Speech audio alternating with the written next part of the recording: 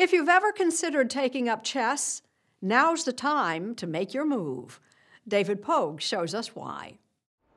The pandemic reduced most professional sports to shadows of their former selves.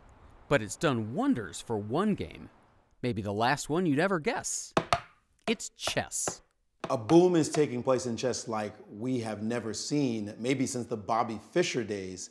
And it's happening all because the pandemic has driven people indoors and they're looking for something incredible, constructive, educational to do. Maurice Ashley is a chess grandmaster and a commentator for chess championships. People have this misconception that it's slow, it takes a long time, it's boring. Why would you want to watch grass grow? Yeah. But chess is not like that. Well, not all the time like that anyway. I'm about to wrap him up. No, no time soon. Forget about that dream. It's definitely not like that in New York City's Washington Square Park, where you can play a pickup game for five bucks Lights out. with old timers like David Solomon Reed. So your move. He's been playing here for 40 years. When you guys go back and do the editing, I want the heading to be I am the last lion of Washington Square Park. The last. If there's a boom in chess, they're not seeing it here. The players just aren't getting the same traffic they once did. A good four or five hundred dollars before the pandemic. Now it's like slow because a lot of tourists are not allowed to come here as far as the flights coming in and out. So now it's down to what on a good day? Oh God, I think I squeezed two hundred dollars, 150 200 dollars one day. So where's the boom? You probably saw this coming. It's online. By June 2020, the number of people joining chess.com had tripled from the previous year. The signups grew by a million people a month.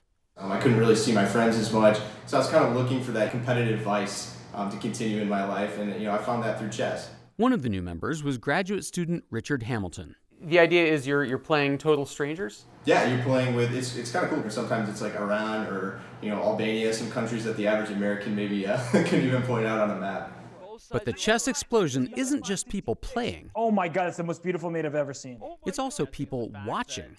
Oh, oh, oh my god! Oh, here comes the owl. Chess has been around for over a thousand years, and people are just starting to watch at explosive rates now. As a teenager, Alexandra Botez won six national titles in both Canada and the US. Today, at 25, she makes a six figure income playing chess live on Twitch, a website where you watch entertaining gamers play video games. And G3. But in the pandemic, chess is one of Twitch's fastest growing spectator sports. Oh my god, stalemate! It's very high energy, you know, you're yelling when you lose a piece, you're excited when you win. Sometimes people will put bets on the line, and it's much more interactive, and you feel like you're actually watching a kind of sport. At one point, you actually threatened to shave your eyebrows? Yeah. I need to get 2300 because this ain't gonna be a good look. And I said that if I don't reach a certain rating goal in a one month period, I would shave off my eyebrows. It was very motivating. She got to keep her eyebrows. Welcome, everybody. I hope we're all ready to behave because we got CBS Sunday Morning filming things today. And along the way, she's amassed a huge following of fans. About 200,000 people a day log on to watch her play chess. Thank you so much, Dell, for the five months. I appreciate it. And a lot of them pay $5 a month to support her channel.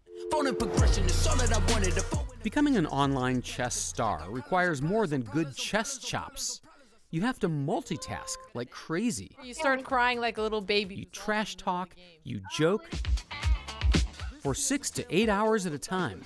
It's not traditional chess. Um, the ones who are the best are also incredible at chess and also incredible at entertaining.